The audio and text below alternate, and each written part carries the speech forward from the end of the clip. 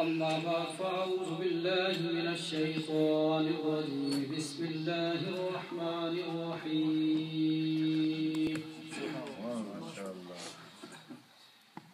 فقد قال الله تبارك وتعالى في القرآن المجيد والفرقان الحميد.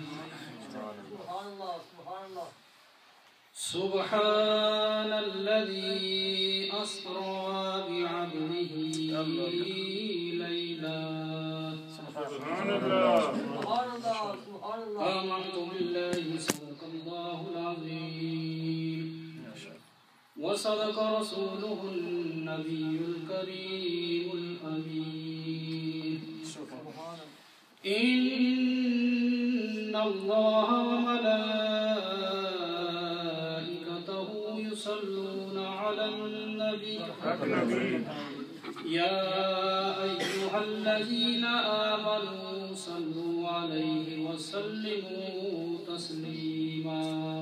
صلاة والسلام عليك يا سيدي يا رسول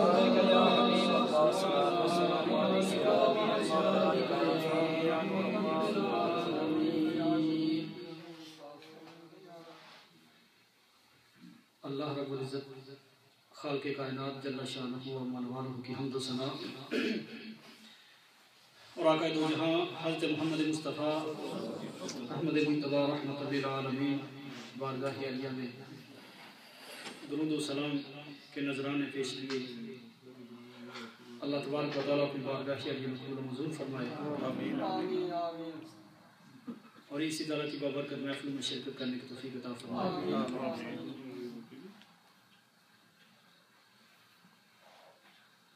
واجب الاحترام۔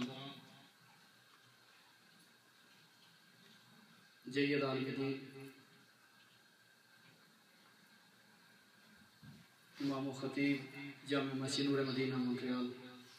حضرت علامہ مولانا غالب حسین احمد چشتی صاحب برکات ملاریہ اور جمیع حاضرین، جامع مسجد نور مدینہ کی مینجمنٹ۔ دور و نزدیک سے آنے والے مم حضرات ہمارے صاحبزادہ مولا مصطفیٰ صاحب۔ اور جتنے دوست احباب اس مسجد میں اس وقت جمع ہے اللہ تبارک و تعالیٰ ہم سب پر اپنی رحمت کا نزول فرمائے۔ میں نے قرآن مجید فرقان حمید کے پارہ نمبر پندرہ میں سے ایک آیا مبارکہ کا ایک حصہ تلاوت کیا۔ اللہ رب العزت خالق کائنات فرمایا سبحان الذی پاک ہے وہ ذات۔ ہر نقص سے ہر عیب سے۔ اسرا جو سیر کے لیے لے گیا۔ سبحان الله مفہوم بتا رہا ہوں پاک ہے وہ ذات ہر نقص سے ہر عیب سے۔ اسرا جو سیر کے لیے لے گیا۔ بے عبد ہی اپنے بندہ خاص کو لیلن اس کے اوپر تنوین ہے لیلا۔ اگر رکیں گے تو لیلا ہوگا اگر آگے چلیں گے تو لیلن تنوین ہے دو زبریں۔ لیلن کا مطلب تنوین کا مطلب یہ ہے کہ رات کے تھوڑے سے حصے تھوڑا سا حصہ۔ سیر کے لیے۔ لے جانے والا کون ہے؟ اللہ۔ اللہ رب العزت اور جانے والے کون حبیب کبریا صلی اللہ علیہ وآلہ وسلم۔ یہاں پہ ایک دو تین شیر میں جو آپ کے گوشت گزار کروں گا سماعت کر لیجیے پھر آگے سفر شروع کر سبحان الله سبحان الله درود شریف پڑھیے۔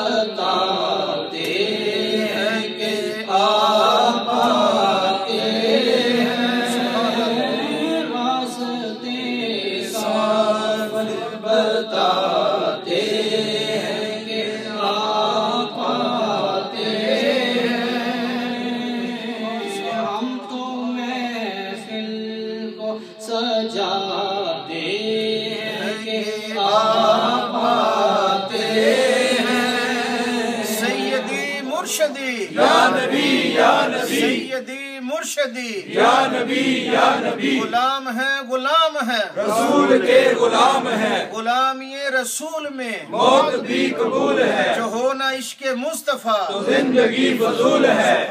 ماشاءاللہ ماشاءاللہ۔ ہم تمہیں کو سجاتے ہیں کہ آپ آتے ہیں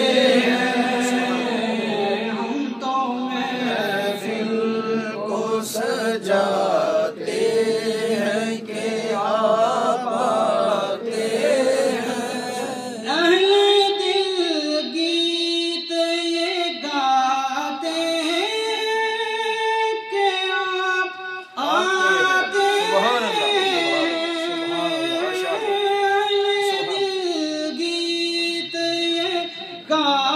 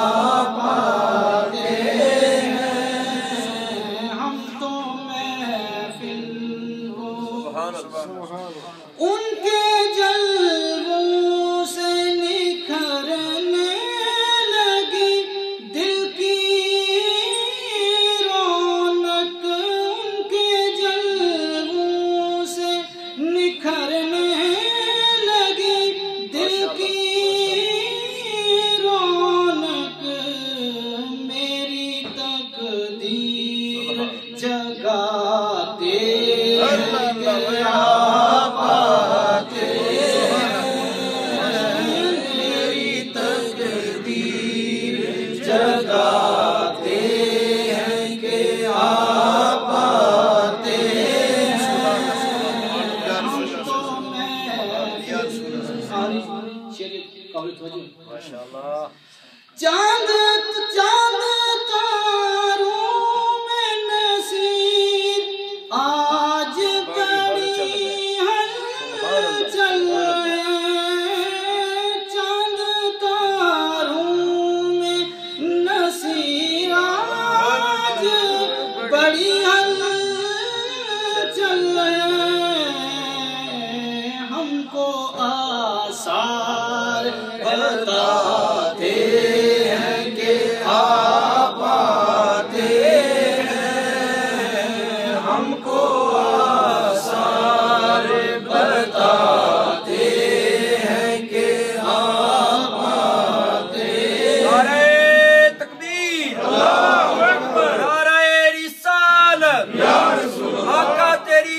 بھی حاضر دل بھی حاضر جان بھی حاضر۔ ماشاءاللہ سبحان اللہ یہ سارا جو کچھ بھی ہے یہ سرکار کا صدقہ ہے۔ آقا علیہ السلام کا صدقہ۔ ہے کسی کو حسن ملا تو سرکار کا صدقہ۔ کسی کو جوانی ملی تو سرکار کا صدقہ۔ کسی کو رنگت ملی تو سرکار کا صدقہ۔ کسی کو علم ملا تو سرکار کا صدقہ۔ کسی کو آواز ملی تو سرکار کا صدقہ۔ ہم انسان بنے تو سرکار کا صدقہ۔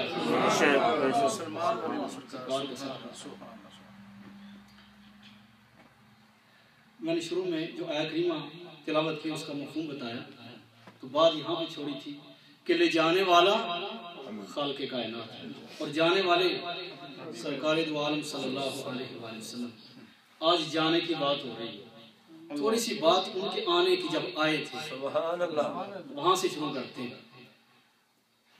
جب آئے نہیں تھے ابھی ابھی عالم ارواح تھا روحوں کا عالم تھا۔ انسان پیدا نہیں ہوا تھا۔ سبحان اللہ۔ انسان پیدا نہیں ہوا تھا۔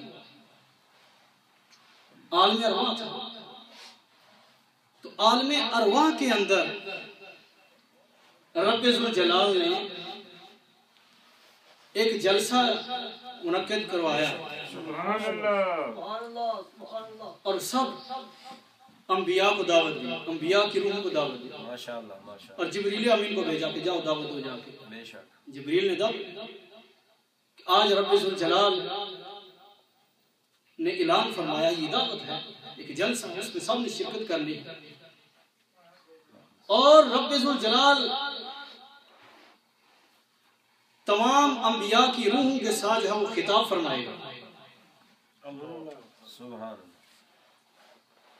ہر نبی کی روح جو ہے، وہ اس ٹائم پر، مقررہ وقت پر جو مقام تھا، اس جگہ پہ پہنچ گیا۔ ایک لاکھ چوبیس ہزار کم و بیش۔ آدم علیہ السلام والسلام سے، عیسیٰ علیہ السلام والسلام تک سارے انبیاء وہاں پہ موجود تھے۔ محفل سجی ہوئی ہے۔ اب بعد نقطے کی بات جو ہے جو توجہ طلب بات یہ ہے اب توجہ کریں تو پھر اب سمجھ آئے گی بات کی کہ رب الجلال نے یہ جلسہ منعقد کروایا یہ محفل کا انعقاد کیا روحوں کو بلایا تمام انبیاء کو بلایا اور پھر رب الجلال خطاب فرمانے والا ہے۔ کون سی ایسی بات ہے؟ کون سی ایسی بات ہے؟ بات جو ہے وہ سننے والی۔ ساری روحیں اکٹھی ہو گئی رب الجلال کے حضور جمع ہو گئی تو رب الجلال نے خطاب شروع کیا۔ وَإِذْ أَخَذَ اللَّهُ مِيثَاقَ النَّبِيِّينَ لَمَا آتَيْتُكُم مِّن كِتَابٍ وَحِكْمَةٍ۔ سبحان اللہ سبحان اللہ بے شک اے حبیب صلی اللہ علیہ وآلہ وسلم، اس وقت کو یاد کرو۔ اس وقت قرآن جو ہے، یہ نازل ہو رہا ہے سرکار علیہ السلام کی زمانہ میں۔ اور رب الجلال سرکار علیہ السلام کو اس واقعے کی یاد دلا رہے ہیں کہ جب آدم نہیں تھا، جب نو نہیں تھا، جب ادریس نہیں تھا، جب یحییٰ نہیں آئے تھے، زکریہ نہیں تھے، موسیٰ و ہارون نہیں تھے۔ عیسیٰ نہیں تھے۔ اس وقت کی بات رب الجلال اپنے حبیب سے پوچھ رہا ہے اور یاد دہانی کرا رہا ہے کہ میرے حبیب صلی اللہ علیہ وآلہ وسلم، وَإِذَا أَخَذَ اللَّهُ مِيثَاقَ النَّبِيِّينَ لَمَا آتَيْتُكُم مِّن كِتَابٍ وَحِكْمَةٍ۔ جب رب الجلال نے انبیاء سے خطاب کیا تھا اور انبیاء سے یہ پوچھا تھا اور وعدہ لیا تھا اور انبیاء کو یہ بات بتلائی تھی کہ اے میرے نبیوں میں تمہیں جب نبوت کا تاج تمہارے سر پہ رکھ دوں اور کتاب و حکمت سے نواز دوں، اسی دوران، ثم جاءکم رسول مصدق لما معکم، میرا حبیب تمہارے این شباب کے اس زمانہ میں کہ آدم؟ جب تمہارا زمانہ